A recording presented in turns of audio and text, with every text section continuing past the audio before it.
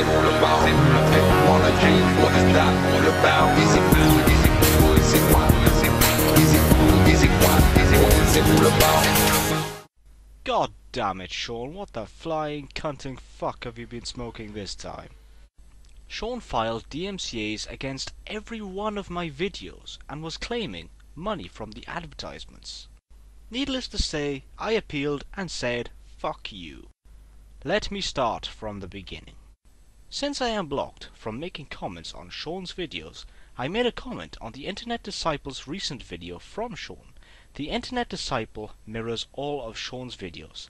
I strongly believe this is one of his many sock accounts.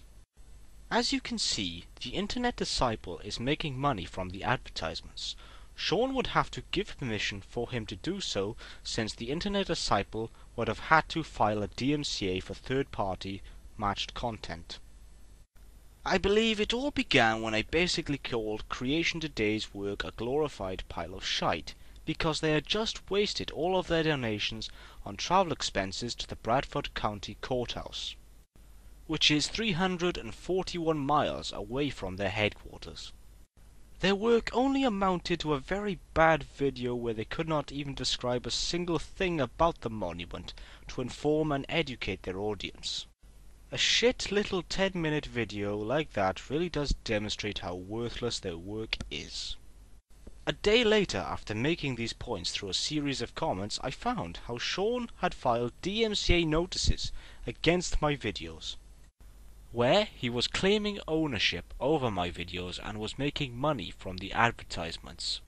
As explained earlier, I appealed and explained how this was complete bullshit. A day passes and he pussies out like a bitch. I was a little disappointed though, because I would have been more than happy to have gone to court and witnessed this little parasite experience the full wrath of his consequences. I guess he remembered what happened last time when he made this mistake. But be warned, Shawn, if this does happen again, I will make sure it is the end of you.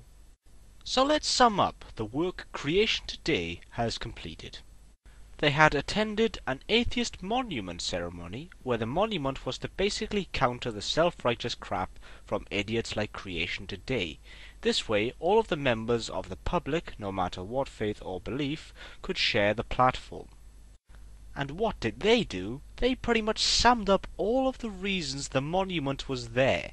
It does the equivalent of saying, fuck you and Shawn I know did not like that one little bit. He got really pissed when he read the quote from Marilyn Murray O'Hair, where she states how an atheist believes that a hospital should be built instead of a church. She was the founder of the National American Atheist Group.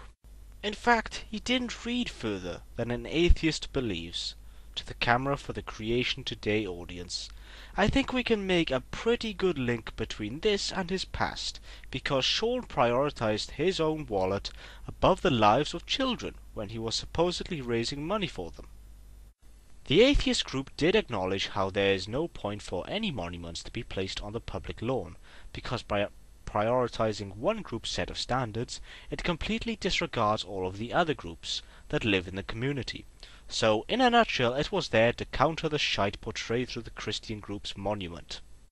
And I will give you one guess to think of who also decided to come, and was there doing his tramp dance for attention from David Silverman. Cy asked why David Silverman wouldn't debate him, and yet, David Silverman summed it up pretty well. Ask David Silverman why he will not debate me. I'm to you right now. I won't debate you because you're not good enough. Strange how Creation Today didn't include that part into their video, where they were made to look like complete losers. Strange how they only came to speak, but not listen, and expected everyone else to listen to them.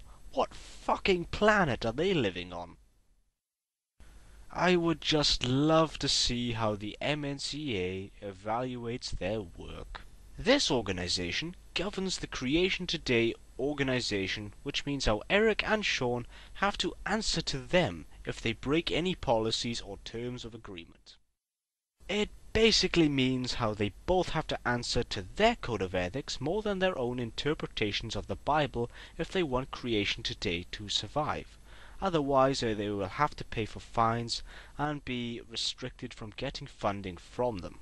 So let's take a look at what code of ethics they would have to answer to.